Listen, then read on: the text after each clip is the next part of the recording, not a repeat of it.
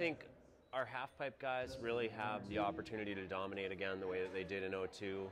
Um, the half pipe women, I think we by far have the four best women riders in the world. Um, with boardercross, we've got a great crew of guys. Uh, you know, boardercross is one of those kind of intangibles. A lot of stuff could go wrong um, when you're racing head to head with other people. So, you know, hopefully whoever ends up making the team, um, you know, gets a clean race once we're there at the games. Uh, you know, both Graham Watanabe and myself rode really well down in South America, and so we're kind of, you know, definitely a lot further ahead in the qualifying process than anyone else. But uh, you know, we've got a we've got a really strong crew of guys, so I, I think we're going to put in some good showings. And you know, Lindsey Jacobellis has been absolutely dominant the last four years, and I'm pretty sure she's fired up to come back and get the gold that she missed out on last time. I think the opportunity of having it, you know, kind of in our backyard is a huge thing. Um, you know, I think we're going to get a lot more, you know, fans able to just drive up. I think, you know, at least for following it, um, I think with the way that the timing goes and with the TV airing of everything, you know, having it in a Pacific Coast time zone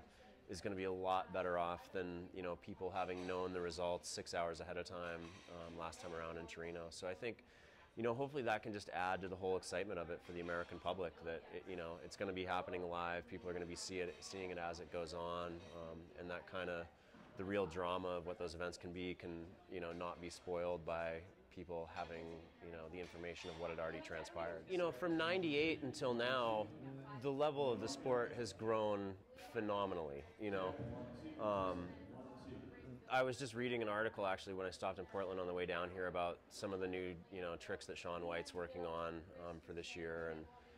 It's the level that the half pipe has, you know, grown to um, in these four Olympic cycles. People are going to be blown away when they see what's going on um, there in Vancouver. And then, you know, with us, I think what the boardercross has really brought to it is a more kind of sport specific type of racing. You know, I, I used to race the GS stuff as a kid.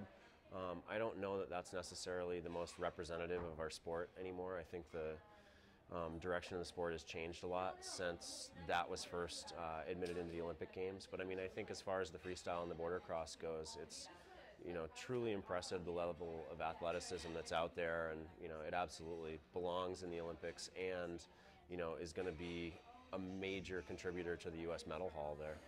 The whole experience of winning is, you know, it's what you dream about from the time that you're a kid. You know, to be able to, for me, having gone in in my first games.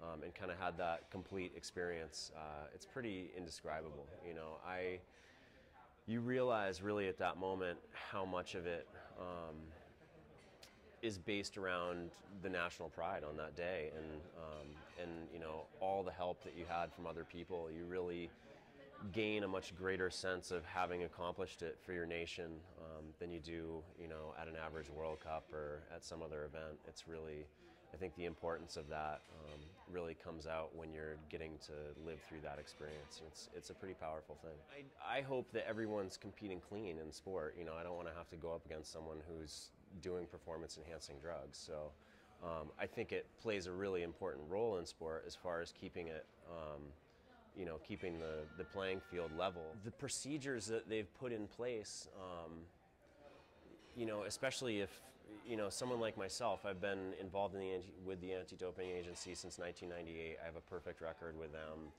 Um, you know, this new policy that they enacted last year of um, you know, having to set aside one hour out of every day where you basically sit at your house and you tell them that you're going to sit at your house and wait for them. Um, you know, it's 365 hours in a year, which is a lot of time. Um, and it's, you know, I wish that they would come up with some better means of being able to communicate with us when they want to test. I mean, I'm, I'm all for random testing. I think it's the only way that they can get accurate results. But, um, you know, for an organization that ends up affecting that much of your daily life, it really is kind of a pain for the athletes. I, you know, it would be nice if they could come up with a better uh, scenario for, you know, locating athletes and um, and being able to test them in and out of competition pool. Um, I don't think it affects my training. It just uh, it affects your spontaneity in life. I mean, you you literally you know, at midnight, by midnight the night before, you need to have registered, um, and you know, all kinds of things come up in life, and it's I, you know, it's a pain that, um, you know, I, I've literally had plane flights changed and gotten a missed test because you're dealing with things that are out of your control, and you're not in a, um, you know, it's easier nowadays with Blackberries and stuff, but um, you know, it's. Uh, it's a pain to stay updated with them all the time when you're constantly traveling like that. And it's, you know, when weather affects what your travel plans are, there's no way that, you know, any of us have control over all that. So it's it's hard when they don't have understanding about scenarios like that.